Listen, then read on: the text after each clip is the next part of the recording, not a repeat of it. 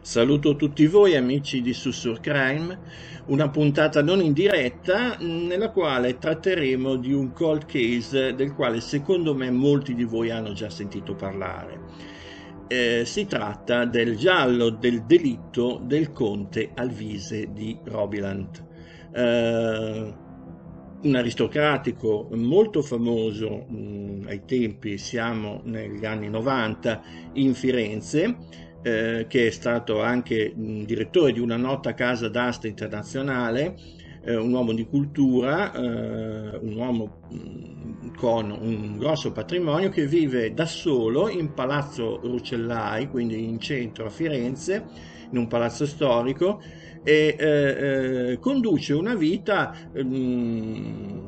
diciamo, charmante eh, probabilmente aveva numerose amicizie femminili, e comunque faceva parte un po' di quello che era eh, il, la creme eh, dell'aristocrazia fiorentina di quel periodo. Il conte viene ritrovato eh, eh cadavere il 16 gennaio del 1997 dalla sua cameriera. Il eh, delitto fa pensare subito ad un furto andato a male, eh, perché la il conte è rivestito soltanto da una vestaglietta corta e nudo, eh, ci sono dei segni di eh, eh,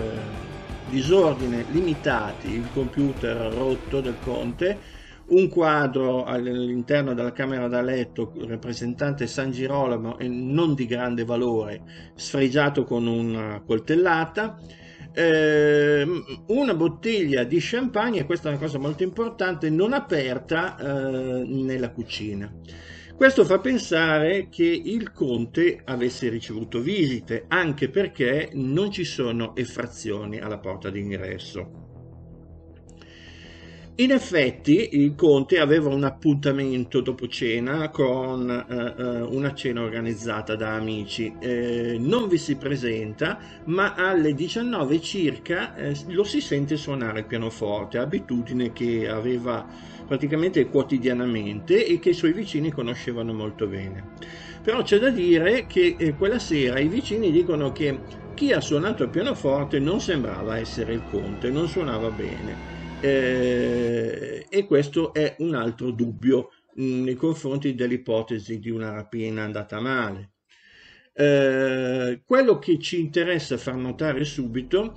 eh, è che ad esempio il pianoforte è stato completamente ripulito dalle impronte digitali.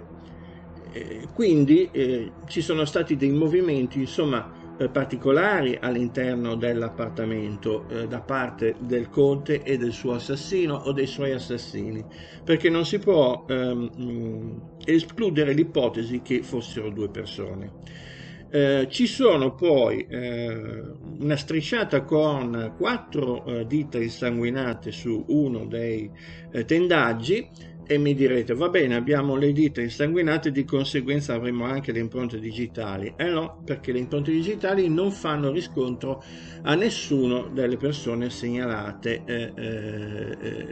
eh di cui si possiedono le impronte digitali e quindi appartengono a degli sconosciuti. Eh, Invece a essere certi di una cosa è che i colpi che hanno eh, ucciso il conte sono stati eh, eh, dati dall'alto verso il basso eh, e sono una decina di colpi inflitti con un oggetto contundente, probabilmente un soprammobile di pietra o di marmo, del quale però non c'è traccia. Eh, il che fa pensare che il conte potesse essere in una posizione particolare. Infatti una delle piste che viene poi battuta e che susciterà anche un certo scandalo per i tempi è quello di un incontro gay da parte del, del conte che notoriamente era, era conosciuto come eterosessuale. A quei tempi ci si scandalizzava molto ancora per queste cose e quindi mh, mm, queste, mh, mm, queste, cose non venivano praticamente diffuse più di tanto. Inoltre il palazzo ha diverse entrate, per cui si poteva essere anche discreti nel ricevere le persone. Eh, a suggerire questa ipotesi e a sostenerla è anche il fatto che il conte è stato ritrovato nudo sul pavimento, ricoperto solo da questa vestaglietta corta, eh, che probabilmente conosceva l'assassino perché lo ha fatto entrare e che può darsi abbia avuto un rapporto orale con lui perché in un tampone eh, orofaringeo è stato ritrovato nella bocca del conte eh, del liquido seminale che prima si è eh, cercato di eh, eh, eh, addebitare al conte ma poi siccome la cosa non stava in piedi e sono stati fatti dei controlli più accurati si è accertato che il liquido seminale appartiene probabilmente all'assassino quindi si tratterebbe praticamente di un delitto maturato praticamente durante un rapporto, magari a pagamento eh, omosessuale. Eh, questa pista ehm, viene rafforzata mh, dal fatto, e questa è la parte più importante secondo me, che eh, eh negli anni successivi ci saranno almeno altri tre delitti che possono somigliare mh, e avere delle analogie importanti con quello del povero conte Alvise di Robilant. Eh, due eh, avvengono a Roma e riguardano sempre persone che hanno avuto a che fare con il mercato, con il mondo dell'arte e eh, uno in particolare è a Perugia. E ce n'è uno poi questo, mh, mm, di questo Piero Nottani, che è di Perugia appunto, mh, un restauratore della soprintendenza alle belle arti, eh, che è mh, quasi identico al delitto del, nelle modalità al delitto del Conte eh, Alvise. Ehm, questo, mh, come dico, fa pensare che ci possa essere un assassino omosessuale che aggancia praticamente personaggi che lavorano nel mondo dell'arte,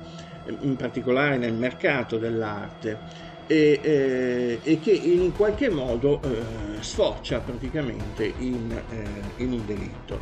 Forse mh, mm, per un affare non andato in porto,